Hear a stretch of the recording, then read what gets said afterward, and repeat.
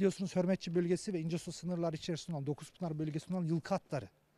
Yani fotoğrafçılık için onlar da bizim bölgemiz e, sınırlar. Hacılar ilçemiz de bizim sınırlarımız içerisinde yılkı atları. Bunları da masalara sunum yaparak tanıtımını sağlıyoruz. Çünkü bizim her şeyden önce biz, biz hizmet kaygısıyla hareket ediyoruz. Biz ticaretin ötesinde hizmet kaygısıyla hareket ediyoruz. Buraya bölgemizi tanıtalım. Biraz önce bahsettiğimiz üzere bulunduğumuz İncesu ilçemiz Kapadokya'nın giriş kapısıdır. Ürgüp'e 20 kilometre, Kayseri merkeze 25 kilometredir. İncesu merkeze 4 kilometre. Şimdi böyle bir fırsatı avantaja dönüştürdük ve böyle bir tesiste yaparak vatandaşlarımızın hizmetine sunduk. İnşallah yoğun bir talep var.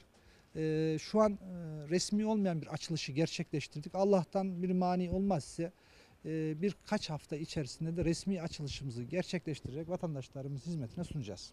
Şu an bulunduğumuz yer aslında İnsanlar geldiğinde gününü tamamıyla burada geçirebilsin. Rahatlıkla, huzur içerisinde haftanın yorgunluğunu da atlatarak evine dönebilsin istedik. Yine burada so- ülke Konuyla alakalı şöyle söyleyelim. Biz her şeyden önce tesisimizde yöresel ürünleri, bizim pekmezimiz ve üzümümüz ünlüdür. Pekmezimizle alakalı e, onunla yapılabilecek her türlü ürünü servis ediyoruz.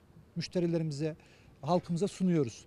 Şimdi buradan e, yemeklerin e, artanlarını biz e, işte hayvanlara, e, sokak hayvanlarına verilmesi ve imha edilmesi yani hiçbir şekilde doğaya zarar verilmeden imha edilmesi noktasında her türlü hassasiyeti gösteriyoruz. Hiçbir şey boşa gitmiyor burada. Her türlü ürünü değerlendiriyoruz.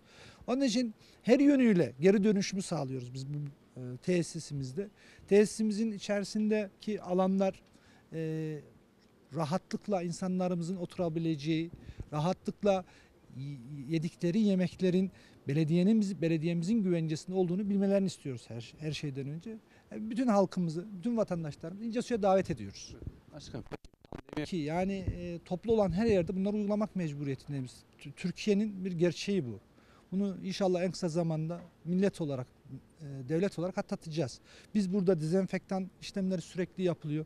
Girişlerde ze- dezenfektan e, şeylerimiz var. Onlarla e, insanlarımız kullanarak içeriye alıyoruz. Maskelere dikkat ediyoruz. Zaten e, burası açık alan olduğu için sosyal mesafede zaten mevcut. E, açık alanlardaki o hassasiyeti de gösteriyoruz. Hiçbir tereddütler olmadan gönül rahatlığıyla tesisimize gelebilirler.